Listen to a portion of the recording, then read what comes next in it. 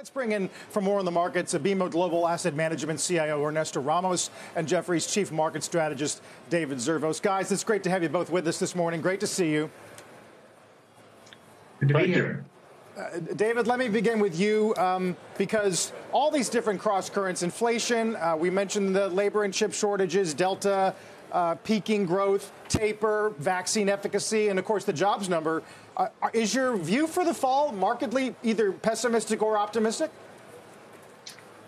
I wouldn't say it's markedly either, Carl. I'd say it's kind of steady as she goes with me, at least. I, you know, I, I sort of stood back after Q1 and really thought that there was going to be a much slower job growth creation storyline, mainly coming from the fact that I thought businesses uh, would be able to get by with less workers. I mean, if you if you look at GDP, and we've talked about this before, on the show, we're actually at record highs in GDP. So we're producing more than we produced in Q4 of 2019 uh, with 6 million odd less workers or 5 million odd less workers than we had uh, before the pandemic. So businesses have become more productive. They figured out how to do this. And I think the story that's missing from a lot of what you guys were talking about in the beginning of this was as it relates to the job market is that that yes, there's a bunch of high profile guys calling for, you know, we need more cheap labor, but they've actually been able to earn a lot and make a lot, record amounts, in fact, record earnings and record stuff mm. uh, with that.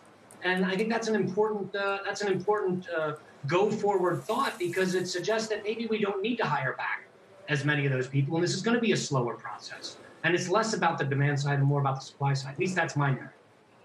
Interesting. Well, that would uh, have ramifications, Ernesto, for certainly corporate profits, which is the one uh, that, and I guess uh, bond issuance uh, is the, the, saving grace of this environment right now. Uh, how much of that do you think acts as a salve for the markets? Well, I think economic, I mean, uh, earnings growth is the key to this market going higher, as well as a lot of support from the Fed. I mean, uh, the, the, the, Fed has proven to be in the investor's best friend. And right now we're in a state of flux between uh, the labor market, with uh, the pace of tapering, with interest rate hikes, with the infrastructure bill. A lot of uncertainties about what's going to happen, at what speed that's going to happen. Uh, but the one thing that's been constant is earnings growth. So that's going to keep propelling the market as long as it stays there. The question is, how much is in the price, and, and, arguably a lot of that is in the price already because the markets are trading at, at high valuations. But there is really no alternative to equities at this point. Even though equities are expensive, they're less expensive in relative terms than bonds are. You still have to be exposed to the to the market. And our our take, BMO's take, is the fact that you want to be exposed to the market, but you don't want to overpay for stocks. So we're buying quality value stocks at this point, meaning companies that have solid business models, solid operating earnings, and, and are trading at a discount to their peers. That's what we're focused on.